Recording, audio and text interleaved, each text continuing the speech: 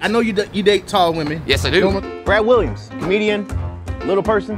I've dated dwarf women before, mm-hmm. but now I date a tall girl, and now the dwarf women are mad at me. You're a 'cause I'm- sellout now, bro. I am. And I was like, really? He said, yeah. But I'm like, well, what can she do that That I can't do? That, that I can't do? I'm like, reach the second shelf.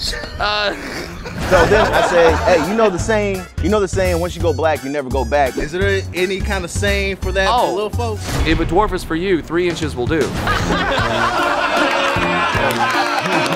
Bro, what is it like driving? Want to roll? I'll, I'll take a ride with you, Brad.